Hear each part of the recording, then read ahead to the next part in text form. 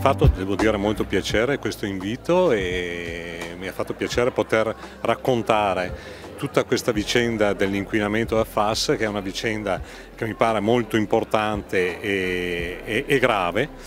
e, e, che era giusto poter sintetizzare anche in un incontro pubblico spiegando che in fondo chi ha fatto informazione su questo tema è riuscito in qualche maniera a, a dare un po' più di peso a questo fatto e magari ad aiutare le azioni volte alla soluzione. Fare inchiesta sul tema FAS è, è, stato laborioso e complesso perché complessa è, è la materia. E,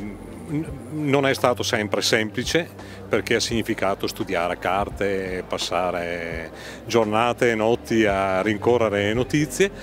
però insomma alla fine credo che il quadro che sta emergendo e che è ancora lungi dall'emergere completamente sia stato interessante per molti. Insomma. Un festival del giornalismo come questo eh,